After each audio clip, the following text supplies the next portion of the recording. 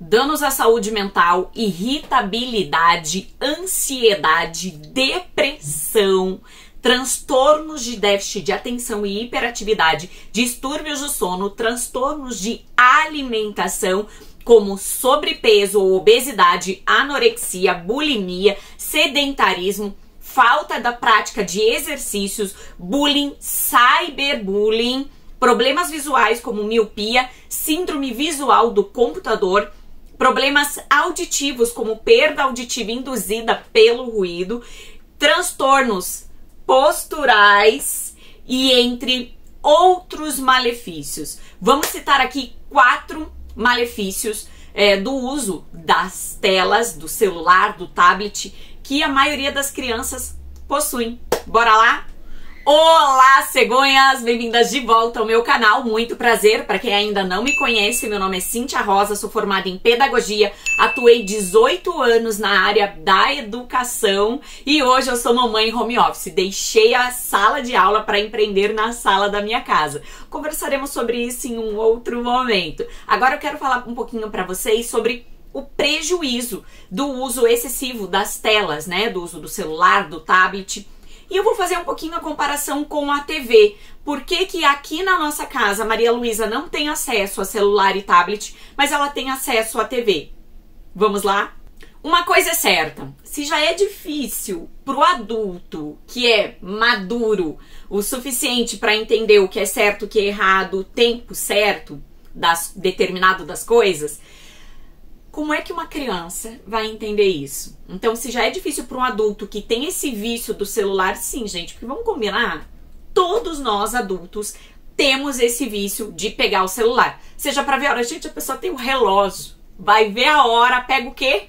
Celular, gente. Vê só fazer isso aqui, ó, para ver a hora. A pessoa vai pegar o quê? Pega o celular para ver a hora. É um hábito, virou um hábito. Se você sai sem seu celular de casa, é um Deus nos acuda, porque parece que você saiu pelado de casa, não é mesmo?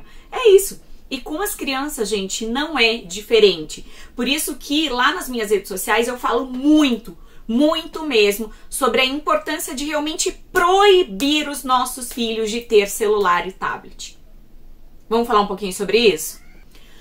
Todo mundo sabe que como pedagoga, todo mundo que me segue, né, gente? Que me segue lá nas redes sociais, que me segue aqui no YouTube, já sabe muito bem que eu falo muito sobre o uso de celular e tablet para criança e que eu sou totalmente contra. Contra. Maria Luísa já tem 5 anos, ela não tem um celular.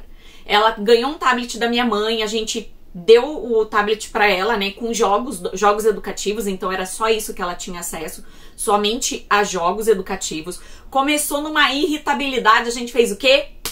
Não tá na hora ainda de ter um tablet, gente. Entendeu? Não tá na hora. Mesmo que a gente colocou tempo para ela, ah, só pode usar por 30 minutos o tablet jogando o joguinho. Mesmo a gente colocando pontuando todas essas questões, né? A gente percebeu uma certa irritabilidade dela. Então a gente fez o que? Tesourou. Não, não tá na hora ainda, então não vamos ter. Gente, vou começar pelo primeiro. Eu deixei tudo anotadinho aqui no meu computador para não esquecer, certo? Então vamos lá. O primeiro, tá? Na verdade, eu ia falar que é o mais importante, mas na verdade eu separei os mais importantes para mim, o que eu acho que é prejudicial. Porque o que, que eu costumo falar, gente? Que eu não quero, eu, Cíntia, mãe, da Maria Luísa, eu não quero que minha filha desenvolva, eu acho que nenhum pai quer isso quando dá o celular ou tablet, mas ninguém quer isso pro filho, mas eu não quero me sentir culpada de minha filha ter que usar óculos por minha culpa, porque eu dei o celular para ela desde pequenininha, porque eu deixo ela no tablet desde pequenininha, é, que minha filha crie um sobrepeso, obesidade por conta disso, ou até uma bulimia, né? É, por conta dessa situação de estar com o uso do celular ou qualquer outro tipo de doença, sobrepeso, né, entre outras questões aí. Então, é por isso que é importante a gente ter muito, muito, muito cuidado, gente, quando a gente oferece isso pro nosso filho, porque vira vício. E vício para tirar o primeiro, sedentarismo. Sedentarismo, gente. A criança quando ela tá com o celular, gente, ela deita na cama, ela enfim, e ela fica ali, paradinha. Vou falar uma coisa. Depois que eu comecei a trabalhar em casa, eu comecei a ganhar peso. Porque o meu trabalho hoje é aqui, no computador e no celular. Então eu não preciso me exercitar como numa escola, por exemplo. Gente, professora de educação infantil sabe muito bem o que é isso. Entendeu? Sobe, desce, corre, sobe, pula. Gente, professor não para um segundo. E aí, quando eu me deparei com o trabalho em casa, eu falei, gente, eu preciso voltar para academia com urgência. Porque além de eu estar mais fadigada, mais cansada, porque eu estou mais no celular e mais no computador, porque é o meu instrumento de trabalho, tá? É, eu percebi isso, que eu tô mais fadigada, eu tô mais cansada e ganhei o quê? Peso. Então estou acima, estou 10 quilos acima do meu peso hoje. Que olha assim, não parece, mas é que eu sou baixinha e, e sim, eu estou bem acima do meu peso. Então isso acontece com as crianças também. A partir do momento que ela entra no carro, pá, celular. Criança, gente, ela não olha em volta, ela não sabe o caminho de casa. Ela não sabe nem por onde é, onde que o pai vira. Porque os pais colocam a criança no carro e já pá, colocam um tablet. Ou dá um celular na mão da criança. Você acha mesmo que a criança vai olhar, gente? Aí a mãe fala: Olha a vaca! Já passou a vaca, gente. Não deu nem tempo da criança olhar a vaca. Olha o cavalo! Dá nem tempo da criança olhar o cavalo, gente. Porque ela tá ali, vidrada no celular. Quando a mãe falou, olha o cavalo, já passou, gente. Aí até a criança sair da tela e virar o pescoço, já foi. Então, sou totalmente contra celular e tablet dentro do carro. Gente, criança tem que ir olhando a paisagem, entendeu? Então, a partir do momento em que ela não tem algo na mão dela, ela se distrai com as outras coisas. É onde tem o que? Movimento. Criança precisa o que, gente? Brincar. Só dela levantar e pegar outro brinquedo, levantar, pegar outro brinquedo, ir lá e movimentar os braços. Ai, bonequinha, isso, carrinho. É movimento. Criança, gente, é movimento. Ela precisa de movimento. E ela aprende como? Como que uma criança aprende, gente? Através dos sentidos. Só que o único sentido que o seu filho está usando é o estímulo visual. Que é ali, ó. Entendeu? Só fica assim. Além de poder ter também uma tendinite, né? Depois, tanto de segurar, segurar o celular quanto. Imagina, gente, quantas doenças eu falo que você sim é responsável por isso. Porque você permitiu isso, o acesso para o seu filho. Por isso que eu falo do sedentarismo. E muitas crianças hoje, gente, não querem saber de jogar bola, não querem saber da aula de educação física. Por quê? Porque tem acesso ao celular, não querem nem ir para a escola porque na escola não tem o celular, não tem aquele estímulo que ele está acostumado ali o tempo todo, tá? Então é isso, gente, o ponto do sedentarismo. Então tome cuidado, muito. Quer dar seu celular, quer dar celular e tablet pro seu filho? Dê, mas limite o tempo. Fala, filhinho, chega agora. Vai brincar com teus brinquedos. Gente, sabe uma coisa que eu não entendo? As crianças têm aquele mundo de brinquedo, mundo de brinquedo, e não sabe brincar não sabe brincar. As crianças de hoje não sabem brincar, não sabem interagir com outras crianças. É triste isso, gente. Gente, sabe qual é o problema? O problema é o que a criança deixa de fazer para ficar no celular, para ficar no tablet. O que foi, filha? Caiu? O que aconteceu? O que aconteceu? Segundo ponto importantíssimo também. Consumo de conteúdos inapropriados para a idade. Vou falar uma coisa. Ah, mas tem YouTube Kids, ai, tem não sei o que, não sei o que, não sei o que. Gente, os meus conteúdos deste canal estão todos programados, porque quando você sobe um vídeo no canal do YouTube, você tem a opção de colocar é um vídeo para criança? Na verdade não é opção, é obrigatório colocar, tá? É um vídeo para criança? Não é um vídeo para criança. Quando você coloca não é um vídeo para criança, ele não é recomendado para crianças. Mas por incrível que pareça, muitas crianças me seguem aqui. Então, porque esse conteúdo não é para criança, mas se você tá vendo, né? e criança, gente, até 12 anos, tá? Até 12 anos. Depois de 13 anos, né, tem as crianças falam que não são mais crianças, vai virando aquele pré-aborrecente. Mas 12 anos ainda é criança sim, gente tá? Então vai brincar, vai fazer outra coisa, controle o seu tempo. Se você é criança, tá assistindo aqui, controle o seu tempo, tá? Coloca o celular para despertar e hoje eu vou jogar por uma hora. Ah, vou ler um livro, vou estudar, vou ligar para alguns amigos, vou conversar, vou sair na rua brincar, vou lá jogar uma bola, vou jogar um vôlei, vai praticar algum esporte, algum exercício físico, vai interagir com as pessoas. Isso é de extrema importância, além de ser prejudicial para os olhos, que eu vou falar isso aqui depois, gente. Então vamos lá, é conteúdo inapropriado, tá? Muitas crianças consomem esse, esse conteúdo inapropriado. Agora eu vou fazer essa comparação do celular e da TV. Maria Luísa, Maria, como eu falei, Maria Luísa tem aqui em casa acesso à TV. Então ela sabe pôr no YouTube, na Netflix, na Globoplay, que é o que a gente tem aqui em casa. Ela sabe colocar em todos os desenhos que ela quer. Ela mexe no controle melhor que a gente. Então ela tem acesso, tá? Full time à TV ligada.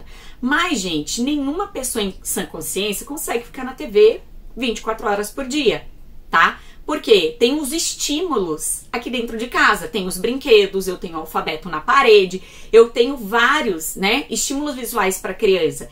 E ela olha o brinquedo, ela tá assistindo, de repente ela olha o brinquedo, ah, vou pegar, vou brincar. E ela vai brincar. Dificilmente a criança tá com o celular na mão, ela vai largar do celular, que gente, é muito mais legal do que criar uma brincadeira, do que pensar em uma brincadeira. E eu já percebi que Aqui em casa, ela tem 30 minutos de YouTube. Ela pode ver 30 minutos por dia de YouTube. E eu percebo, gente, que quando ela tá no YouTube, gente, essa criança não pisca. E aí ela fica procurando vídeo, procurando vídeo, procurando vídeo. Achou um vídeo, assiste o vídeo. Procurando vídeo, procurando vídeo. É um estímulo o tempo todo, porque tem muita coisa no YouTube, tá? E o melhor, por que, que eu deixo ela ver na TV? Porque eu tô sempre ou na sala ou na cozinha tá? Dificilmente eu fico aqui no, no escritório trabalhando. Aqui é o nosso escritório. Então, dificilmente eu fico aqui, tá? É só quando eu tô gravando um vídeo e ela tá lá com o pai dela. Então, gente, eu tô ouvindo e vendo aquilo que ela tá assistindo. E às vezes eu escuto alguma coisa e falo, e, e, e, e. Isso aí pode desligar. Tira agora, porque isso aí não é conteúdo de criança. Porque, gente, mesmo sendo no YouTube Kids, tem muita pegadinha que a gente tem que estar tá muito atento com o que os nossos filhos estão vendo. E no celular, gente, a gente não consegue ver o que nosso filho está vendo o tempo todo, tá? Você não vai ficar ali 24 horas assistindo o que seu filho está assistindo. Então, é muito difícil. Então, a criança ela vai consumir conteúdo inadequado, inapropriado para a idade dela. Netflix, Maria tem Netflix. Mas lá na Netflix tem os desenhos e tem a, a tarjinha para cada idade, né? E a gente já ensinou que ela só pode ver os vídeos que tem o, o verde. Os verdes são liberados para qualquer idade. E os que têm 10 anos, 15 anos, 16 anos, são os que né, a gente não deixa ela ver, a não ser que esteja vendo junto com a gente. Então, inclusive, tem um, um filme, não lembro qual filminho que a gente viu é, outro dia, e tá lá acima de 10 anos. E era um filme que eu queria ver. Ai, vamos ver esse filme. Ela, não, mamãe, esse filme, olha, não é pra minha idade. Aí eu falei pra ela, filha, mas com a mamãe você pode assistir. Então, né, com a mamãe você pode ver, porque a mamãe tá junto, a mamãe vai explicar algumas coisas inadequadas, algumas cenas que talvez apareçam não inadequadas, a mamãe vai estar tá aqui, né, junto com você. Agora, sozinha, não pode. Inclusive, outra vez ela assistiu um filme, acho que era Casa Monstro, lá na escola. Ela chegou em casa, mamãe. E aí eu cheguei para pegar lá na escola e eu vi que ela tava lá num cantinho. Falei, nossa filha, por que, que você tava num cantinho longe dos seus amigos brincando? Enquanto seus amigos estavam assistindo o filme dela, não, mamãe, porque esse era um filme que não era pra minha idade. Aí eu falei, que filme era? Ela era. Aí ela falou, A Casa Monstro. Não é pra minha idade e eu fico com medo. E aí eu falei, realmente, filha, aí, até eu fico com medo quando eu assisto aquele filme. Imagina a criança que não tem discernimento para imaginar as coisas assim, entendeu? Então, a gente precisa tomar cuidado com o que os nossos filhos assistem e preservar, gente, a infância dos nossos filhos. Terceiro, impacto na visão do seu filho. Você sabia que você pode ser culpado por fazer com que seu filho use óculos muito cedo? E não é por questões, né, biológicas que seu filho, né, que você passou pro teu filho. Não.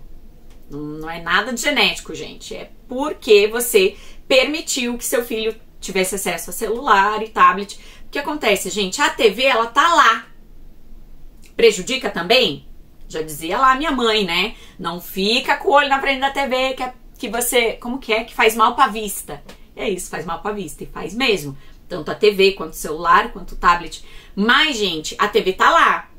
Tem uma distância da tela e sofá. Gente, o celular tá aqui, na cara da criança. O tablet tá aqui, na cara da criança, tá? Outra coisa que eu gosto de comparar a TV e celular a TV, gente, você não pode carregar a TV para tudo quanto é lugar. Você não pode carregar a TV pro carro, pro banheiro, né? Pra, na hora da, da TV, da, do almoço, do jantar ali, num restaurante, qualquer outro lugar. Você não pode carregar a TV. Agora, o celular, gente, a partir do momento que você dá acesso, teu filho vai querer carregar para tudo quanto é lugar. Principalmente se é dele, se você deu o celular para ele. E o impacto, gente, já tem alguns estudos, vou colocar aqui para vocês. O esforço para enxergar de perto as telas sobrecarrega a musculatura ocular e, por isso, pode estimular o crescimento ou desenvolvimento da miopia. Além do surgimento ou, progre ou progressão da miopia, a exposição prolongada às telas pode ocasionar a síndrome do uso dos aparelhos eletrônicos, que é um cansaço ocular, uma fadiga ocular, quando aumenta-se muito esse esforço visual. Também pode gerar alterações na superfície ocular, piora da síndrome do olho seco, inflamação, vermelhidão, irritação, coceira, sensação de corpo estranho nos olhos, tudo em decorrência do uso da, do excesso de telas, tá? Quando a gente fala em excesso de tela, gente, é, Ai, mas meu filho só fica uma hora, duas horas. Será mesmo? Você controla realmente esse tempo? Né? A, a, Associação Brasileira de Pediatria não recomenda o uso de tela até os dois, gente, até dois anos. Teu filho é zero tela, nem TV, nem celular. Ah, mas que mãe que aguenta? Gente, dá TV. Usa lá a TV da tua sala pro teu filho. Teu filho não precisa do celular, do tablet. Ah, mas não sei. Gente, um tete seu filho tá chorando, dá um brinquedo, ensina teu filho a brincar. Brinque com ele. Gente, será que é tão difícil isso, gente? Brinque com seu filho. Esteja lá com ele. Enfim. É, quando a criança apresenta alguma dificuldade na aprendizagem, é, a gente sempre pede na escola, né, e principalmente até os 5 anos, a importância de você levar o seu filho no oftalmologista com recorrência todos os anos é muito importante. Porque a gente, até os, os 6 anos, o cérebro da criança ela vai se desenvolvendo, né? Então, quando você leva no oftalmo para saber se não tem nada, né? E é importante levar em mais de um oftalmologista para ter mais opinião né? Você pode ajudar o seu filho num pequeno grauzinho lá, que às vezes só uma correção, um tampão, alguma coisa já resolve. E quando você deixa isso, gente, só vai piorando, porque o que que acontece? Nós temos a neuroplasticidade dentro do nosso cérebro. O que que é isso? É quando o cérebro, gente, ele se adapta. Então, por exemplo, você não tá eu uso óculos, tá aqui, ó. Meu óculos sem perna inclusive na frente do, do computador, do celular, né? Eu desenvolvi, eu tenho uma miopia e astigmatismo, eu tenho os dois juntos. Então, o nosso cérebro, quando eu não sabia que eu precisava usar óculos, porque o meu cérebro se acostumou com aquilo. Então, eu não enxergava de longe, mas eu pensava, ah, é porque tá muito longe. É por isso que eu não enxergo. Né? Tá muito longe aquela placa, por isso que eu não tô vendo. Só que quando eu coloquei isso aqui pela primeira vez, eu falei, ah, eu fiz justamente essa cara. Falei, gente, eu não enxergava nada. Nada. E meu cérebro, o quê? O cérebro vai se adaptando. Isso acontece com a criança, né? Então, gente, por isso que é importante levar o seu filho no oftalmologista com muita recorrência, certo? Principalmente se ele tem acesso ao celular e tablet. Quarto, distúrbio do sono. Muitas crianças hoje em dia dormem mal. Por que, que dormem mal? Às vezes vai ficando até tarde no celular, né? Criança dorme com o celular na cara, né? E as crianças dormem mal, gente, por conta do uso das telas à noite. Gente, é muito prejudicial, principalmente para o nosso cérebro, tanto para o adulto quanto para a criança. Então, nós devemos dormir no mínimo a média de 8 horas por noite. 8 horas consecutivas por noite. Então, gente, por isso que é importante reduzir o excesso de telas à noite. No mínimo duas horas antes de dormir. Corta a tela. Corta. A criança não tem que ver TV, não tem que ver celular. Duas horas antes de dormir. Ter também uma boa rotina, gente, do sono, horário para a criança dormir. Filho, aqui em casa é sete e meia da noite. Maria dorme entre sete e meia e oito horas da noite. Todos os dias até nas férias, Cíntia, todos os dias até nas férias. Alguns dias a gente passa porque a gente não tá na nossa rotina correta, então a gente sai, vai passear, vai na casa do meu sogro, vai na casa da minha mãe. Então a gente passa ali um pouquinho do horário. E a gente já percebe que quando a gente passa do horário, a Malu acorda no meio da noite, porque ela não seguiu a rotina que estava prevista. E, gente, isso que Maria não tem acesso a celular e tablet. Maria só vê, né, TV, ela tem acesso à TV. Maria brinca muito. Quem me segue lá nas redes sociais sabe o quanto eu posto ela diariamente brincando. É uma criança que brinca, que cria, que inventa. Então ela ama brincar, né? Então por isso que eu falo que a gente não desperdiça dinheiro comprando brinquedo, porque ela brinca, ela ama brincar, ama jogar jogo junto com a gente. E, gente, essas questões de celular prejudica sim Basta você digitar aí distúrbio do sono versus celular. Gente, a quantidade de pesquisas, de, reportagens que vai aparecer é, com essa relação, tá? Então tome cuidado com o uso excessivo das telas, tá? Gente, uso excessivo é isso, é ultrapassar duas horas por dia tem criança que passa, gente, 24 horas no celular, no tablet, videogame, né? Então tome cuidado, gente. É o mínimo que a gente pode fazer pelos nossos filhos, é cuidar da infância deles, fazer com que nossos filhos brinquem, que eles se divirtam, que eles curtam, que eles sejam sim protagonistas da história. Porque isso, gente, é o que eu costumo falar. A educação dos nossos filhos é a longo prazo. Então a colheita não vai ser agora. Se você deixa seu filho ver celular, ver tablet, o que que acontece? As crianças vão ficando mais preguiçosas, então não querem se trocar sozinha, aí vai lá a mãe, caga. Pra colocar uniforme é o ó do Borogodó, porque, gente, a criança não quer largar a tela para colocar roupa, para colocar uniforme, para comer.